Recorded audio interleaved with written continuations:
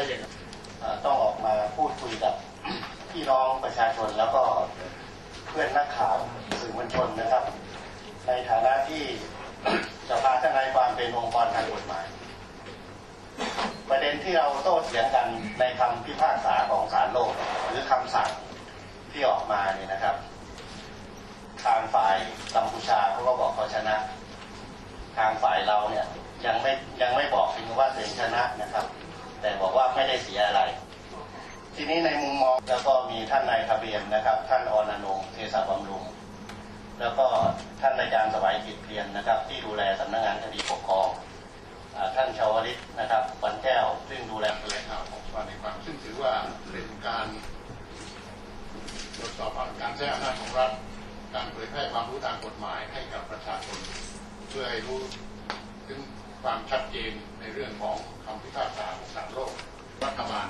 ผ่านสื่อผ่านดาวเทียมจากการแถลงข่าวของทีมทนายทนายฝ่ายไทย ถ้าผมเชื่อว่าพี่พี่น้องๆ ผู้สื่อข่าวทุกท่านเนี่ยคงถ้าได้ดูเทปแล้วจะเห็นนะครับ ในฐานะที่เราประกอบวิชาชีพทนายความท่านจะเห็นใบหน้าของทนายความที่ทำหน้าที่แทนสภาแทนประเทศไทยเนี่ย ท่านดูว่าสดชื่นหรือเปล่าถ้อยแถลงที่ออกมานะครับ ไม่ว่าจะเป็นจากถ้อยแถลงของตัวทนายความเอง ซึ่งเป็นภาษาอังกฤษและมีการแปลความนะครับ ซึ่งทนายความได้เอามาย่อกับถ้อยแถลงของปลัดกระทรวงการต่างประเทศมันเห็นได้ชัดเจนอย่างที่เราสรุปนะครับว่าทางภาครัฐก็บอกว่าทางกัมพูชาไม่ได้เป็นตามฟ้อง แต่นั่นไม่ได้หมายความว่าเขาไม่ได้อะไรผิดเพราะเปลี่ยนมือไปด้วยนะครับ เราได้สรุปมีความชัดเจนเลยนะครับว่า ในการแก้คดีและคำแถลงคดีของประเทศของประเทศไทยนั้นเนี่ยนะครับ ในประเด็นทางเทคนิคข้อแรกที่ประเทศไทยต่อสู้ ก็คือว่าศาลโลกไม่มีอำนาจที่จะพิจารณาหรือตีความถือว่าคำพิพากษาของศาลโลกปีพศ 2505ยุติแล้ว เราแพ้เขาตั้งแต่ประเด็นเทคนิคอันแรกแล้วพอเราเห็นหน้าคนที่คุณอารินามิรองที่พูดเป็นภาษาอังกฤษในวันนั้นผมรู้แล้วว่า มันผิดพลาดแล้ว เพราะอ่านต่อไปแล้วเนี่ยมันจะต้องถูกแปลความทันทีนั่นหมายความว่าคำร้องของประเทศกัมพูชา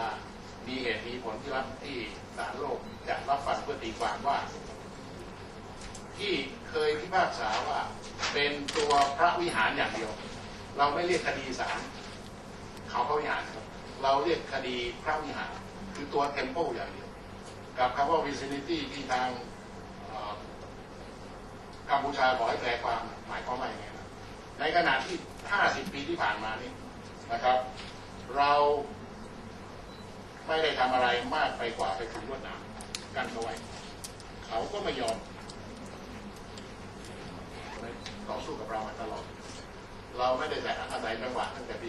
2505 มาประกอบกับทาง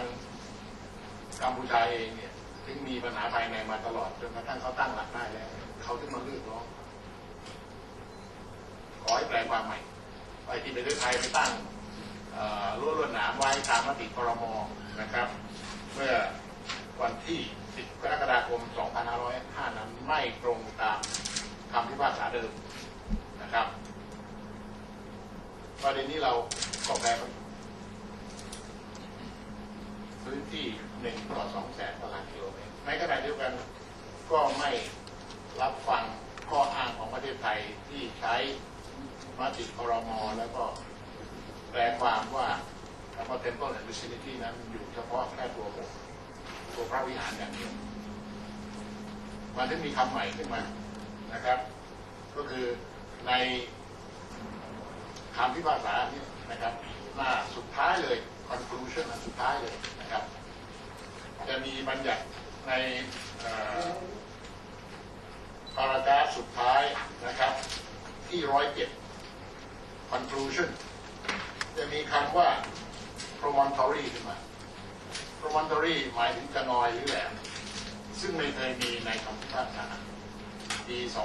2505 เพราะฉะนั้นถ้าได้สรุปก็คือว่า ประเทศไทยแพ้คำแปล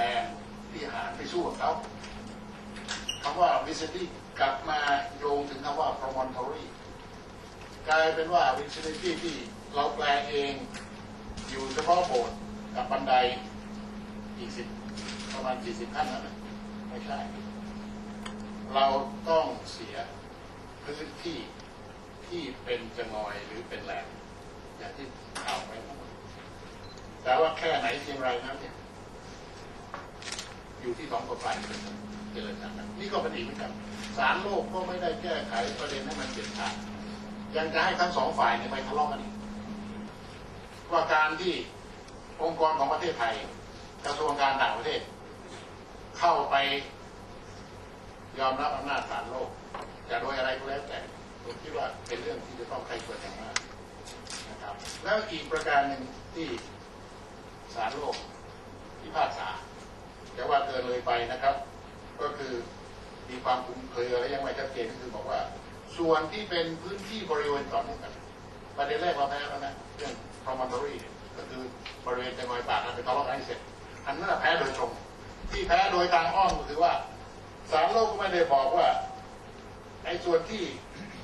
คลุมเครือก็คือบริเวณพื้นที่พิพาทต่อเนื่องที่เหลืออยู่ สมมุติว่า 4.6 เราเสียไปหนึ่งตารางกิโลเมตร แสดงว่ากัมพูชาชนะ เรียกว่าได้ไม่เต็มฟ้องว่างั้นนะแต่เขาก็ชนะ เราเหลือ3.6ไอ้3.6เนี่ยยังจะต้องก้าวลงไปถึงว่าประเทศไทยกับกัมพูชาจะต้องเจรจากันเพื่อให้ความคุ้มครองคุ้มครองอะไรครับ คุ้มครองมรดกโลกคือปราสาทพระวิหารของกัมพูชา ที่เราขึ้นทะเบียนแล้วที่เขาไปขึ้นทะเบียนคนเดียวนะนั่นหมายความว่าบ้านของเราภูเขาของเรา แต่ศาลโลกกลับให้กัมพูชา มาเจรจากับเราบอกว่า ขอให้ช่วยกันอนุรักษ์ดีไหมครับ ถ้ามีคนมาสร้างบ้านอยู่ชั้นสามของท่านก็บอกว่าท่านที่อยู่ชั้นล่างก็ต้องช่วยอนุรักษ์ด้วย ประเทศไทยแพ้แล้วท่านไปดู conclusion นะครับ ถ้าท่านที่ที่สนใจนะครับ ไม่ว่า conclusion ข้อพารากราฟที่57หรือ conclusion อันสุดท้ายที่ผมพูดนะครับ เรื่องของร้อยเจ็ด ท่านดูเลยครับ เราแพ้ทั้งสองแบบผมอยากให้รัฐบาลโดยกระทรวงการต่างประเทศนี่ยชี้แจงให้ชัดเจนนะครับว่าที่ท่าน เข้าไปต่อสู้คดีนี้นะครับ เป็นไปโดยชอบตามรัฐธรรมนูญมาตรา 190 ได้แจ้งรัฐสภาแล้วได้ขออนุมัติแล้ว แล้วก็แจ้งให้ประชาชนเขาทราบอย่าแถลงแต่เฉพาะว่ากัมพูชาไม่ได้เป็น เสียนิดเดียวไม่เป็นไร แต่เกียรติและศักดิ์ศรีของประเทศไทยครับ เราเสียจริงๆเที่ยวนี้นะครับ เพราะฉะนั้นก็ก็เรียนเอ่อชี้แจงเหตุและผลให้ท่านผู้สื่อข่าวทราบเพราะว่าทำแถลงเราเนี่ยอาจจะสั้น ผมก็เลยให้คำอธิบายและเหตุผลของสภาทนายความในฐานะที่เป็นผู้ประกอบวิชาชีพประวัติและมองคดีนี้ อ่านคอนคลูชั่นสองอันแล้วนะทั้ง57ทั้งร้อยผมแล้วไม่มีปัญหาเราแพ้ครับประเด็นหนึ่งนะครับไอ้จะงอยตรงนั้นนะครับ ที่แหลมออกไปเนี่ยเท่าที่ถามคนในพื้นที่เนี่ยเขาบอกประมาณสิบไร่นะครับ ตรงนั้น แต่เรื่องข้อเท็จจริงนั้นน่ะต้องไปเจรจากันแล้วที่บอกว่าเราไม่เสียนะครับ ในส่วน4.6ที่ที่เราเอาไปสู้คดีเนี่ยนะครับศาลโลกก็ไม่ได้ตัดสินว่าเป็นของเรา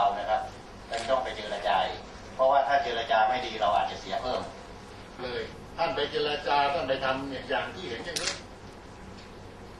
เมื่อท่านไม่ได้มาชี้แจงเหตุผลต่อรัฐบาลเราก็มีสิทธิ์จะท้าคดีอย่างนี้ เราเคยเสียหายมามากแล้วทำไมท่านไม่ใช้กลไกทางรัฐผ่านซึ่งนานาประเทศเขาใช้กันท่านกลับจะแก้ไขรัฐธรรมนูญมาตรา190 เพื่อให้ท่านทำอะไรก็ได้อย่างนั้นหรือถูกต้องทำพิพากษาถึงที่สุดให้จับคุกแล้วนะครับ แล้วก็ประเด็นที่ ที่เกี่ยวกับว่าจะพักใบอนุญาตไว้ก่อนไหมถ้าเขาเป็นผู้ต้องหาผมร่วมพัฒนาปราสาทพระวิหารในฐานะมรดกโลกเนี่ยภูเขานั่นของเรานะแต่ว่ามันเหมือนกับบนหัวของผมเนี่ย มันมีปราสาทของคนอื่นตั้งอยู่